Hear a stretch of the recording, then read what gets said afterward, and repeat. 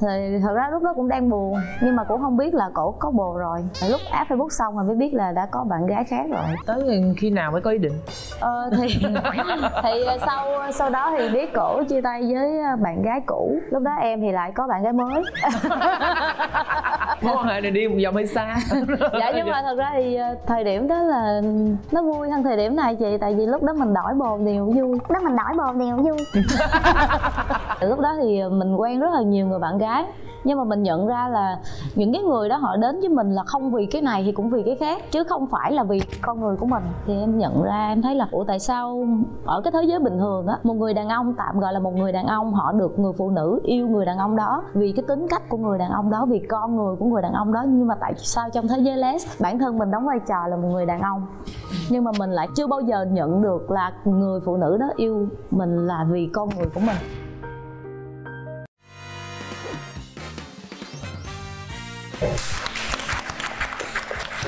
Lộ Lộ và Minh Tuân. Chào mừng tất cả quý vị đến với chương trình Love, Love Wins Vì yêu mà cưới. Và hôm nay chúng ta chào đón một cặp đôi rất là dễ thương. À, Ngay bây giờ chắc có lẽ là xin mời hai anh chị sẽ giới thiệu về bản thân của mình một đôi chút để khán giả được biết được không ạ? À, xin chào chị à, Lộ Lộ Với là anh Tuân Em tên là Thư hiện đang làm à, founder với CEO của hệ thống nhà hàng vua cua à vua cua nghe quen nhưng mà cua là là nhà Giúp hàng. nhà hàng đúng không? Dạ nhà hàng bán cua. Nhưng mà nó có một cái chuỗi hệ thống luôn đúng không? Dạ sáu cái à. Sáu cái. Dạ. À, còn đây là vợ của em. Chào chị lỗi với anh tân. Em là ngọc. À, hiện nay em cũng đang à, làm việc tại công ty Vuco luôn. Em là giám đốc vận hành.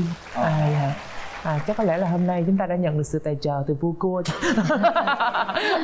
Nên có sự xuất hiện của cặp đôi này.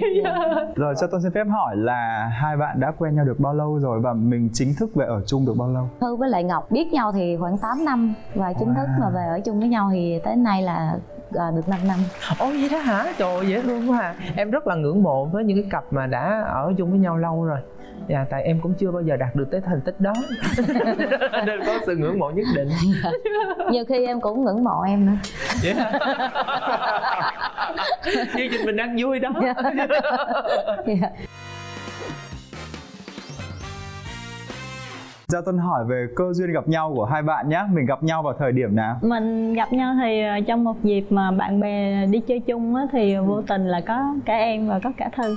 Thì à, lúc đó chỉ gặp nhau như bạn thôi. Lúc đó mình đã làm chung cái job mà ở trong vua cua chưa? Hay là mỗi người làm một nơi? Dạ chưa chị. Lúc đó tụi em mới lần đầu gặp nhau mới biết nhau vậy. Ừ. ấn tượng đầu tiên của hai bạn về nhau là gì? Mình nhớ không? Dạ ấn tượng của em đầu tiên về thư là đẹp um, đẹp trai yeah. Dạ. rồi uh, ấn tượng của thư về ngọc thật ra thì lúc mà mới gặp ngọc á, thì ấn tượng đầu tiên của thư về ngọc là tại vì lúc đó ngọc hay mặc quần jean với lão thun lắm mà thư thì thích con gái nữ tính à. thì sau này quen xong rồi cô cổ chỉnh mới lại. chỉnh lại tí ừ. thì ấn tượng lúc đó thì uh, cũng chưa có gì tại vì lúc đó còn đang tương tư người cũ và cũng không có ý định gì hết cho nên thật ra nếu mà nói về ấn tượng mà gọi tình cảm thì cảm xúc thì không có à vậy là trước đó là mình đang có một cái người một cái mối quan hệ khác đúng không? Dạ nó đã kết thúc rồi. À. nhưng mà mình vẫn còn vương vấn nói nhiều. tới. dạ đúng rồi. Rồi cái cơ duyên nào sau cái ngày đó mình có thể đến với nhau như ngày hôm nay? Tại vì do quen nhau qua một à, người bạn thân cho nên sau đó về thì add facebook. Rồi khi mà add facebook thì à, thư cũng thấy cô gái này hay hay. Thì thật ra lúc đó cũng đang buồn nhưng mà cũng không biết là cổ có bồ rồi. Lúc add facebook xong rồi mới biết là đã có bạn gái khác rồi. Thì cũng chỉ nói chuyện với nhau như bạn thôi. À, dạ cô cũng gặp nhau mấy lần thì cũng có thích thích nhưng mà biết người ta có bạn gái rồi cho nên là không có ý định gì hết. Tới khi nào mới có ý định? Ờ thì thì sau sau đó thì biết cổ chia tay với bạn gái cũ. Là cũng mất một thời gian khá lâu không hay là ừ, chắc khoảng được ờ, sau khi hai đứa gặp nhau được khoảng uh, 2 năm á là là chia tay với bạn gái cũ. Lúc đó em thì lại có bạn gái mới. Mối quan hệ này đi một vòng hơi xa? Dạ nhưng mà thật ra thì ờ, thời điểm đó là nó vui hơn thời điểm này chị tại vì lúc đó mình đổi bồn thì cũng vui. Lúc đó mình đổi bồn thì cũng vui tự đốt nhà luôn nha độ can đảm lắm nha thư. Dạ. à, tại vì thật ra tụi em 5 năm mà quá hiểu nhau Ừ, mà nên không dạ. có gì mà phải che giấu đúng nữa. rồi nói Dạ. nói vui vậy thôi chứ dĩ Dạ. nhiên là để mức độ mà mình có thể nói chuyện mà tự nhiên được như vậy thì dĩ nhiên là hai người phải rất là thấu hiểu nhau rồi. Dạ. Cái xong cái em ờ, lại có bạn gái. Cái cô gái này lại tiếp tục quen bạn gái khác tiếp luôn. Tại sao là hai đứa em lại đi vòng vòng năm nữa. Một năm nữa? Dạ đúng rồi. Là mình bắt đầu gặp nhau chưa hay là bắt đầu là tiếp tục đổi nữa? Dạ thì ờ, sau sau khi có bạn người người bạn gái đó và cô gái này có người bạn gái sau á, thì à, hai đứa quen người bạn gái đó cũng ờ, người còn lại khoảng một năm sau đó hai đứa quen nhau chính thức à dạ. là khi mà mình chia tay bạn gái của mình rồi thì mình lại liên lạc lại với nhau? Dạ thật ra thì trong quá trình nó vẫn liên lạc nhưng mà nó chỉ giữ ở mức là bạn bè Bạn thôi. bè. không có cái gì nó lố vượt quá tình nhưng mà có bao giờ bạn gái của ngọc ghen với thư mà bạn gái của thư ghen với ngọc không? Ừ, bạn gái của em có ghen không? Dạ có. Còn bạn gái của em thì lúc đó không? Ừ. dạ, bình thường. Nhưng mà em chỉ muốn hỏi cái thấy vô chính thức luôn là khi mà mình quen nhau thì sau cái thời gian tiếp xúc và mình biết quá khứ của nhau quá nhiều như thế thì để mình bắt đầu một mối quan hệ thì lúc đó là căn bản hai người nghĩ gì và cảm xúc nó có khác với cái lúc mà mình đang làm bạn. Có nghĩa mình có phải dè chừng không? Tại vì mình biết, ai cũng biết là đối phương à cũng có rất là nhiều cái background phía sau rồi. Thì tới khi mà mình mình gặp được nhau rồi bắt đầu là mình phải đặt câu hỏi là mình có bị bị như thế nữa không á? Dạ. Thì thật ra thì à, lúc mà ờ, em đến với ờ, vợ hiện tại của em á thì à, lúc đó là mình cũng đã trải qua, nó tạm được gọi là hai từ đó là tình trường. Lúc đó thì à, mình quen rất là nhiều người bạn gái, nhưng mà mình nhận ra là những cái người đó họ đến với mình là không vì cái này thì cũng vì cái khác, chứ không phải là vì con người của mình. Sau một cái khoảng thời gian là em quen quá nhiều người như vậy thì em nhận ra, em thấy là, ủa, tại sao ở cái thế giới bình thường á, một người đàn ông tạm gọi là một người đàn ông, họ được người phụ nữ yêu người đàn ông đó vì cái tính cách của người đàn ông đó, vì con người của người đàn ông đó. Nhưng mà tại sao trong thế giới les bản thân mình đóng vai trò là một người đàn ông? Nhưng mà mình lại chưa bao giờ nhận được là người phụ nữ đó yêu mình là vì con người của mình người ta gọi là tình cảm chân thành. Dạ đúng rồi. Cho nên là mình ừ, sau một khoảng thời gian mình đi lòng vòng lòng vòng thì ờ, giống như chị lộ nói là mình cũng sẽ bị một cái gì đó gọi bị là dao động khi mình gặp Dạ. một cái đối phương mà có muốn có ý định tiến tới với mình đúng không? Dạ đúng rồi. Nghĩa là đúng rồi tại vì em cũng cảm giác như thế. Hai bạn đều có tình trường quá nhiều thậm chí là nó nhiều luôn nữa. Và mình trải nhiều quá thì tới khi mà mình đối diện với cái người bạn hiện tại mình đó cái mình đặt câu hỏi là ủa vậy họ có thật lòng với mình không dạ đúng rồi. Dạ. Cái lúc mà còn trẻ là mình đi cô gái là mình có như mình show ra cho ta thấy hết là mình có như tiền là như thế nào giống như cho người ta biết ồ tôi là người có tiền tôi có thể take care cho cuộc sống của bạn để thu hút cái sự chú ý của người Đúng, bạn đúng, gái. nhưng mà đến mối quan hệ với cô này thì ờ, mình sẽ show ra những cái gì mình mình tệ nhất từ những cái tính xấu cho đến cái việc là mình không có tiền đâu nha. Ờ, bạn thích con người của mình hay không? Kiểu như mình có cái thiên hướng là mình mình muốn tìm một người thích cái con người của mình chứ không phải là thích những gì mình đang có. Nhưng mà cái thời gian mà ngọc biết thư khá lâu nha thì bây giờ thư có muốn giấu hay là muốn có một cái vỏ bọc gì đó khác cũng khó mà. Tại vì mình đã Dạ, biết đúng nhau rồi. từ trước rồi dạ đúng rồi. Đúng không? Quá rành nhau Ừ. rồi. Dạ. Rồi là khi mà ngọc thấy ví dụ ở vị trí một người con gái ha thấy thư là ví dụ vị trí một người con trai đi có cái tình trường lừng lẫy như vậy mình có e dè không cũng có. Nhưng mà khi mà mình hiểu tại sao bạn mình nó trải qua nhiều chuyện như vậy thì mình lại cảm thấy là mình hiểu hơn là mình thương hơn hả? Không biết nha anh nghĩ như vậy nè. Những cái người mà có cái tình trường lừng lẫy á họ đâu muốn vậy đâu. Dạ nhiều khi rồi. họ chỉ muốn tìm đúng một người phù hợp thôi Dạ. nhưng họ chưa tìm ra thì họ phải tìm hiểu những người khác thôi chứ sao bây giờ? Đúng như là chỗ của thư nói nãy đó. Giống như thư có điều kiện có tất cả mọi thứ nhưng mà chính vì cái điều đó nó mới khó cho cái chuyện nó tình là một cảm. rào cản nó là một rào cản tại vì người ta tới vì những cái thứ đó chứ người ta không tới vì con người của mình. Dạ đúng rồi. Và bây giờ mình quay lại cái câu chuyện đi sau khi mà hai người bắt đầu quen nhau thì cái buổi hẹn hò đầu tiên có kỷ niệm gì vui không? Dạ mình đi vũng tàu chơi. Ồ, một địa điểm quen thuộc mọi người à rồi mình mình có có ở qua đêm không hay là mình đi về liền? À, dạ có ở qua một đêm. Hồi đó anh ngây thơ lắm Ngây đi thơ. về liền luôn. Tại vì em rất là thật sự luôn mọi người em không biết là mọi người như thế nào. Mọi người sẽ nói là em nói xạo thật sự luôn. Lần đầu tiên của em với người yêu em đi vũng tàu tại em đi bằng xe của em lái xe xuống dưới đi ăn xong đi về được không? Vậy đó. Ờ, tại vì mình có xe mà. Nó, nó rất là tiện nữa và gần nữa. Ờ, tại vì mình nghĩ đơn giản vậy thôi. Nhưng mà sau đó mình biết đã tốn công xuống tới đó đúng rồi. là ngoài nó nói chung là phải ở lại chứ.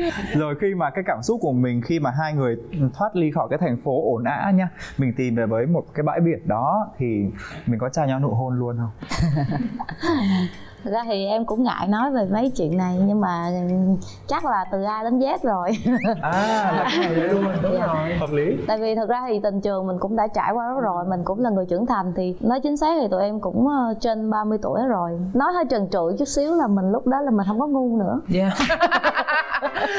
Đó, anh thấy một người mà kinh doanh người đã có từng trải thì nói chuyện rất là gãy gọn không để vô chi tiết làm gì cả. Tuy nhiên là bản thân em cũng không muốn vô chi tiết đâu nhưng anh tuân và khán giả sẽ mong muốn điều đó.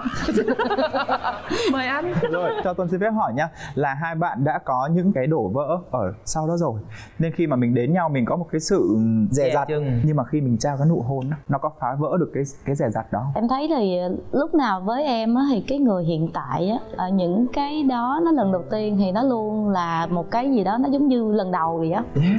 dạ tại vì thật ra cái cảm xúc với một cái người mới thì nó cũng giống như với người cũ thôi thì nó là mới bắt đầu mà thì ai cũng sẽ có cảm xúc nó là mới bắt đầu của một người mới nên nó giống như là cái người đầu tiên mà mình Dạ, được đúng rồi. tìm hiểu đúng không Dạ. tuân rất hiểu cảm giác đó luôn nha lộ lộ hiểu điều đó không? không tại em có người em không hiểu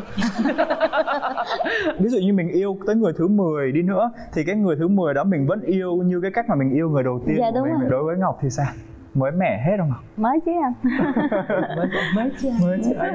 khi mà mình đến với nhau rồi mình cứ nói thẳng ra là mình có tất cả mọi thứ trong cuộc sống này. Dạ. Như là địa vị tài chính rồi cuộc sống mình đã từng trải rồi thì mình có gặp khó khăn gì trong cái quãng thời gian quen nhau không? Dạ thì thực ra thì chắc em cũng đính chính chút xíu là cái ngày lúc mà tụi em đến với nhau á là em mới bắt đầu mở vu cu thôi là gần như là hai bàn tay trắng luôn đó. Ồ vậy dạ. hả? Cho nên là gây dựng sự nghiệp là hai đứa đến 5 năm tới hiện tại là có tất cả mọi thứ. Chứ không phải là cái background của em là có sẵn. Thì lúc đó là ngọc thì đang làm uh, supervisor trong Sheraton wow. còn em thì mở cái nhà hàng đầu tiên. Sau đó lúc mà mình thấy mình có doanh số đủ để trả lương handle được cái lương cho vợ mình á thì mình mới muốn là 13 năm kinh nghiệm ở Sheraton thì về setup giùm cho mình cái khâu vận hành. Trời ơi giỏi quá luôn thiệt Khủng sự. khiếp, khủng khiếp thiệt sự. Chứ không phải là có sẵn mọi thứ.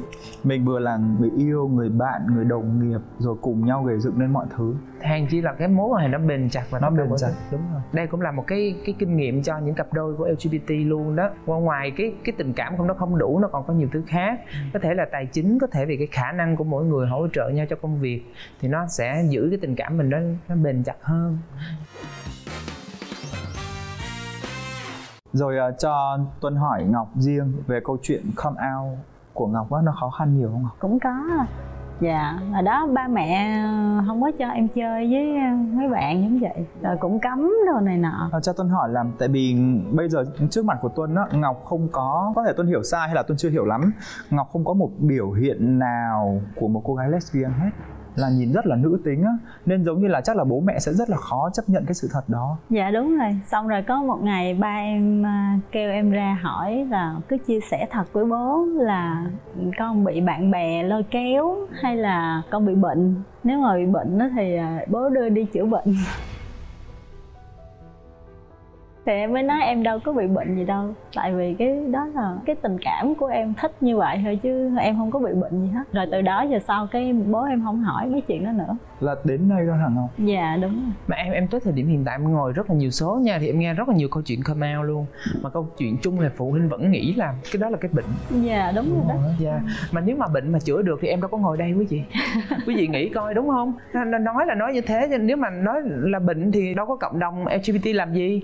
Cho nên mình phải hiểu một cái sự thật rất là rõ ràng đó, đó là cái thuộc tính mà ông trời ông ban cho em. Và dạ, cho mọi người. Cái điều đó là mình được chứ. Đó là không có gì xấu hổ hết. Có nghĩa là nếu mình nói phân tích từ khía cạnh là mình nhìn con mình come out với cái bệnh là cái sai nhất. Ví dụ mình có thể tìm hiểu cái tư tưởng ở có thể là học đòi này kia được có thể nói như thế nhưng mà có vẫn có nhiều người họ bị phù phiếm họ chạy theo. Nhưng mà tới một thời điểm nào đó thấy không phù hợp nữa thì họ buông. Thì cái đó có để làm ảnh hưởng cho cái tiếng chung thôi. Chứ còn nó bệnh là không có đâu bệnh là tôi trị lâu lắm rồi. mẹ của Ngọc không có ý kiến gì. Có chứ, cũng cấm cản, cũng la xong rồi. Mẹ em giống như là không có cảm tình với ờ, những bạn nữ mà tóc ngắn rồi mặc đồ giống con trai mẹ em không thích lắm. Riêng bản thân em thì em cảm nhận được là giống như mẹ em giữ khoảng cách với em á. Mẹ em hơi sợ em á. Kiểu như hồi mẹ con không có thân mật được, nhưng mẹ em thì hay thân mật với chị gái còn à, với em á thì mẹ em không có không có tỏ ra thân mật lắm như hơi hơi ngại ngại với em vậy đó. Em cũng hiểu điều đó nhiều khi em cũng thấy buồn mà thôi kệ. Từ từ mẹ sẽ hiểu. Đến bây giờ thì sao rồi ngọc dạ tới bây giờ thì à, ở nhà em hoàn toàn chấp nhận hết. Oh, dạ. Rồi vậy là vui lắm rồi. Dạ. Ừ. rồi còn về thư lại ba má em ở bên mỹ á thì ờ, ba má tự ngầm biết xong rồi tự ngầm suy nghĩ. Rồi cứ thấy em ờ, toàn là chơi với con gái không à. Tóc thì ngày càng ngắn. Tóc thì càng ngày càng ngắn. Rồi ba cứ gọi về hỏi ờ, sao tóc con càng ngày càng ngắn vậy? Ông nói là cắt cho mát ba ơi. Cái từ từ từ từ rồi ngọc là cái người đầu tiên mà mà mà em giới thiệu với gia đình. Ừ. là bây giờ là bên ba em với lại mẹ ngọc kêu nhau là anh chị xui luôn. Ồ dễ thương quá. Nhưng mà mà cho em hỏi cái này với với với thư nha. Có phải cái sự thành công của thư và của ngọc đã làm cho người lớn họ bớt thành kiến và bớt bị áp lực với cái sự come out của hai hai người không? Dạ em nghĩ cái đó nó sẽ chiếm khoảng 70% phần trăm. Yeah. Tại sao em lại hỏi như thế? Bởi vì có rất là nhiều người come out xong rồi họ không biết làm vì gì với chuyện đó và họ cứ mãi ôm cái background đó thôi. Dạ. còn còn đối với lộ cái sự thành công sẽ thuyết phục người lớn nhiều hơn. Dạ, đúng. tại vì mình nếu mà mình sống là chính mình và mình có một cái hiệu quả tích cực cho cuộc sống của mình lo cho đời sống mình phát triển mình có chỗ đứng trong xã hội thì không không có ai bẻ mình được. Nói như thế không có nghĩa là khi mình come out mình ôm lấy quá khứ thì mình không làm gì được, hoặc là có nhiều người mà họ không có thành công với cái đó thì trách họ không phải. Có nghĩa là mình, khi mình đã là mình thì mình phải mang được một cái giá trị gì nhất định có thể là bạn không phải là một CEO hoặc là một cái người nổi tiếng nhưng mà bạn cũng có lại phải nói làm cho gia đình mình tự hào một chút xíu ừ, có thể là một người chăm chỉ lao động và có cái mục tiêu sống á dạ, thì nó rồi. tốt hơn là suốt ngày mình ngồi và mình nói là người ta phải chấp nhận mình đi và mình than thở với điều đó. Cái đấy rất là em cũng đồng ý với chị lộ với lại là anh Tân về vấn đề này. Cũng giống như là gia đình em thì ờ, tự động sẽ chấp nhận. Vì khi mà gia đình mình thấy là trong sự nghiệp mình đã thành công rồi thì cái quyết định về cái chuyện tình cảm của mình là chắc chắn họ sẽ tin tưởng. Yeah yeah rất là hay. Bữa nay mình ngồi một cặp rất là đã rất lộ rất là thích thích cặp những cái thân cặp mình có họ có cái gì đó ấn tượng với mình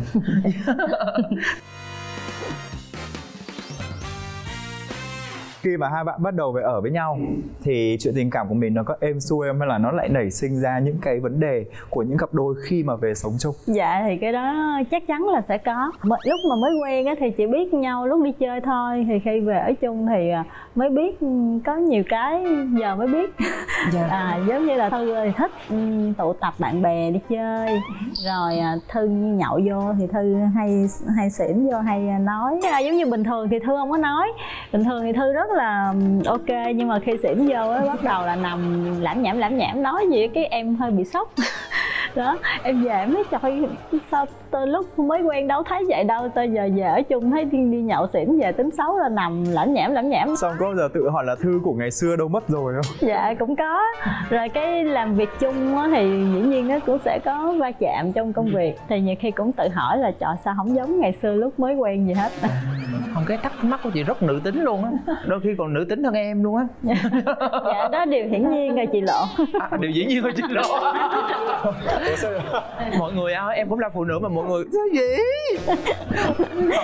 Thôi giờ tần số tiếp theo đi chị chị chị mình bỏ qua vậy đó đi. Với em thì thư chỉ có vậy thôi xong rồi à, một hôm em đi làm về thì à, thư ấy về thi về trước em đi làm về sau em mở cửa cái phòng thì lúc đó là thư đã đi chơi rồi em mở cửa phòng vô xong em chụp tấm hình em gửi cho thư em hỏi đây là cái phòng hay bãi rác? Đây là cái phòng hay bãi rác. Là thư đi về là giày dép quần áo là túi sách mũ nón là quăng tứ tung hết mất kiến hết. Rồi lao khăn giấy xong quăng liền luôn. Rồi cái em mới chụp hình em hỏi đây là cái phòng hay bãi rác? Kìa xong rồi thư cười thư nói anh xấu gì I'm sorry rồi vậy xong rồi đó. Em lại phải chịu khó đi dọn em phải tắm sạch sẽ kỹ. Cứ tới ngày thư đi quẳng đây cái em phải lên lụm bỏ chỗ khác. Ôi chị là nữ tính hơn em nữa rồi. Như vậy này cho tôi xin phép hỏi có phải á cái cách mình cư xử với nhau á là do những cái người đã trưởng thành rồi á và họ trải qua nhiều thứ rồi. Mình sẽ không có xung đột hay là va chạm gì quá lớn đúng không nào dạ có anh. Nhiều khi tức quá dĩ nhiên cũng phải cãi lộn chứ. À, cũng có cãi lộn rồi cãi lộn xong giận nhau rồi chia tay. Vậy luôn hả? Dạ. Tập mấy rồi? Dạ chọn không đếm được luôn. Ồ, dài cô vô thấm tuổi? Tập dài nhất là chia tay bao nhiêu lâu ngọc nhớ không? Dạ tập dài nhất là chia tay cũng 10 ngày ấy xong rồi cái dài quá. Dài, dài quá. Nó em nhớ lộn rồi nhớ có ba phút ngày mà. Hả? Đó là lúc thư đi mỹ á. Thư à, à đúng rồi. rồi. Cái thời gian mà 10 ngày mà ngọc nói là tại vì em không có ấn tượng là lúc đó chia tay online. À chia tay online. Tại vì đi mỹ nên mới chia tay. À. tại em bị kẹt bên đó 9 tháng lận rồi cứ cãi nhau hoài cái em chán cái không gọi điện không liên lạc gì đâu cũng chục ngày Ồ oh, yeah. yeah. À, cũng Còn ở Việt Nam là khoảng 3 ngày là cao. Ờ. Ở Việt Nam thì ở chung Đó là cãi vui thôi chứ chia tay gì. Trời Thiệt sự. Đối với Thư đi. Dạ thì vì Ngọc kỹ quá thì em cũng hơi bực mình. À, Tại vì thật ra cái lối sống của mình á là em không có chịu được dơ bẩn em thì ờ, chỉ có một cái là bề bộn theo kiểu là uh, lấy cái nón bên này thì để qua bên kia thôi. Nhưng mà sau đó thì cũng sẽ tự động đi dọn. Có nghĩa là mình bề bộn nhưng không dơ bẩn. Đúng rồi. Em không có dơ được nhưng mà bề bộn thôi. Uh, mình sẽ tự dọn nhưng mà cô gái này là thấy là phải dọn liền. Còn em thì nói lát rảnh dọn mắc gì là phải làm liền vậy tự nhiên hành mình như vậy. Rồi xong rồi cãi nhau. Rồi cổ thì tiêu xài tiết kiệm em thì ờ, phóng khoáng hơn ừ. và nó cũng bị mâu thuẫn về vấn đề chi tiêu cũng cãi nhau rồi trong công việc thì em thì ceo rồi thì tất nhiên thì ờ, rồi em quyết hết. Nhưng mà cổ thì vì vận hành ở dưới nhà hàng là mấy bạn bên phục vụ thì cổ quản. Trong quá trình làm việc thì cũng mâu thuẫn về cách quản trị con người thì cũng cãi nhau. Nhưng mà sau đó thì như chị anh Tân biết thì tụi em đã sống với nhau 5 năm rồi. Thì gần như bây giờ là không cãi nhau nữa. Cái câu hỏi mà cặp đôi nào cũng có thể nhận được là các bạn có ghen với nhau nhiều không và ai ghen nhiều hơn? Dạ có ghen chứ chị. Với như hiện tại vị trí của thư bây giờ thì em cũng chắc chắn là cũng có nhiều bạn là rất là thích thư. Nhưng mà thư cũng tế nhị với em là không có làm cho em phải Buồn. cảm thấy khó chịu vì cái cái cái điều đó là thư luôn giữ khoảng cách với với họ. Và giống như là khi mà em ghen lên em nói em không thích thư chơi với bạn này bạn kia thì thư auto lại unfriend facebook hay blog hay gì đó để cho em cảm thấy yên tâm hơn. Đúng rồi tại vì ờ, ở một cái vị trí nhất định rồi và cái cái độ tuổi nhất định thì họ sẽ có cách cư xử phù hợp với nhau. Em nghĩ cái đó nó cũng không khó khăn quá nếu mà mình đã ở chung sống với nhau quá lâu năm rồi. Cho tuần thắc mắc về cái việc mà à, tài chính của hai người á khi mà nó quá khác nhau như vậy thì mình đã chỉnh nó như thế nào để mình có thể hòa hợp nó? Tới thời điểm hiện tại tôi vẫn uh, xài tiền riêng. Uh, độc lập tài chính. dạ độc lập về tài chính. Uh, tiền của vợ em thì vợ em giữ còn tiền em thì em giữ. Còn cái nào cho xin mượn gì đó thì phải đúng nguyên tắc.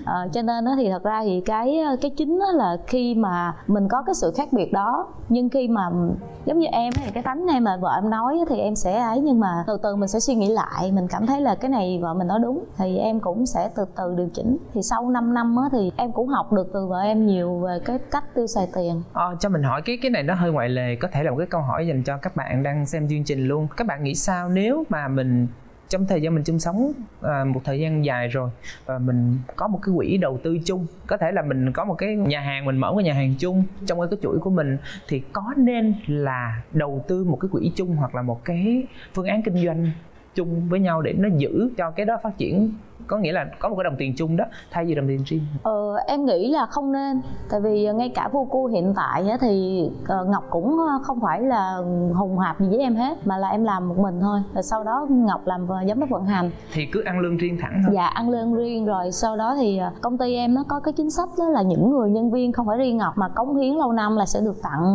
cổ phần. Thì ngọc cũng nằm trong số đó. Dạ, dạ.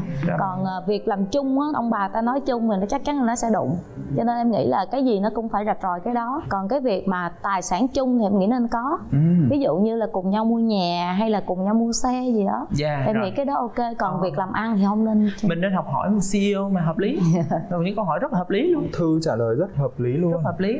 Tại vì ở thư và ngọc á khi thư hoạch định như vậy á mình vừa có cái riêng mà mình lại vừa có cái chung. Dạ, đúng. nó lại không quá dính dáng tới nhau nhưng mà nó lại không quá bị tách biệt nhau á. Đâm ra cái mối quan hệ này nó vừa rất là cá nhân nhưng mà nó lại có cái cái cái sự quan tâm con thấy rất là hay luôn. Ai, cách giữ lửa của hai người như thế nào để nó không có nhạt?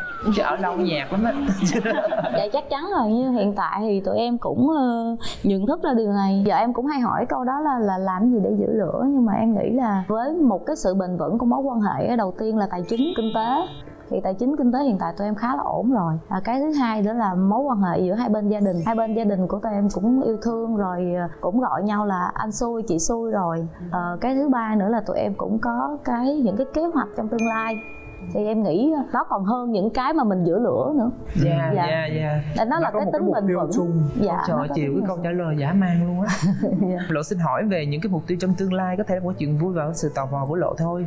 À, các bạn có nghĩ mình cần một em bé để có thể mình giữ chặt nó hơn không? Dạ có, tụi em cũng có kế hoạch. Ban đầu là định năm nay nhưng mà do em cũng sắp có lịch đi Mỹ lại á thì chắc là à, qua năm thì tụi em sẽ ờ, làm một em bé. làm một em bé bây giờ hai người đều có những cái ưu khuyết điểm của nhau thì mong muốn thay đổi ở đối phương là gì? Thì lúc trước em cũng nói rồi là thư thích đi chơi với bạn bè nhiều. Ừ. với lại niềm vui của thư là ngồi với bạn bè lai rai uống bia đồ này nọ đó. Thì khi mà uống bia thì tật, tật xấu đó lại ra. Thì em cũng có với thư có ngồi trao đổi với nhau về cái việc mà em không cảm thấy vui lắm khi mà thư như vậy á. Thì sau đó thư có sửa thư sửa đổi.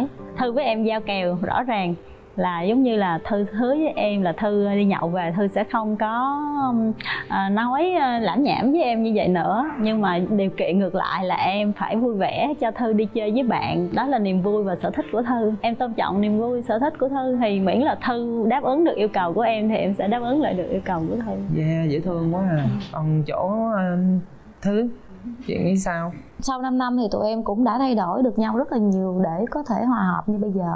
Như chị thấy là thực tế là hiện tại tụi em không còn cãi nhau nữa. Chỉ là thỉnh thoảng là cũng có giận. Nhưng mà giống như là cái cảm xúc thôi. Và mình biết rằng cái điều này trong quá khứ nó đã xảy ra rồi. Bây giờ mình tìm cái cách để mình dung hòa nhanh hơn, tốt hơn để nó không còn cãi nhau nữa. Nãy giờ tuân nói chuyện á tuân ngồi tuân hỏi chuyện thư với ngọc á mà cảm giác của tuân giống như mình là đứa em xong rồi hai anh chị ngồi chỉ bảo chị đúng như vậy luôn. cái kiểu đấy luôn Thật là ra- ngồi tuân rất ngóng chờ được nghe ngọc và thư trả lời câu hỏi luôn. Thật ra là bản thân lộ là thứ nhất là từ cái chuyện kinh doanh cho đến chuyện tình cảm thì dĩ nhiên lộ đang ngồi đây và rất là nhiều cặp rồi. Mình cũng đưa ra nhiều lời khuyên cho họ và cũng giống như vậy nhưng mà bản thân hai đứa cảm thấy Không là mình học được nhiều. Áp lực không dám khuyên luôn Áp áp, lực lực, kinh khủng khiếp Và xin cảm ơn quý khán giả đã theo dõi tập Love Wins vì yêu mà cưới ngày hôm nay. Bây giờ thì xin chào và hẹn gặp lại.